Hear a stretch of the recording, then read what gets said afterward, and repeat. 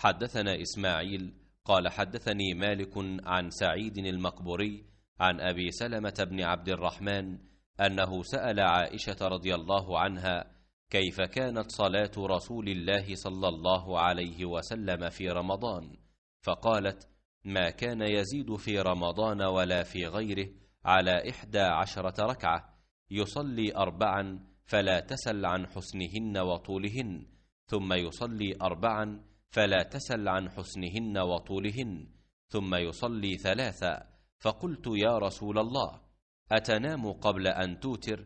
قال يا عائشة إن عيني تنامان ولا ينام قلبي.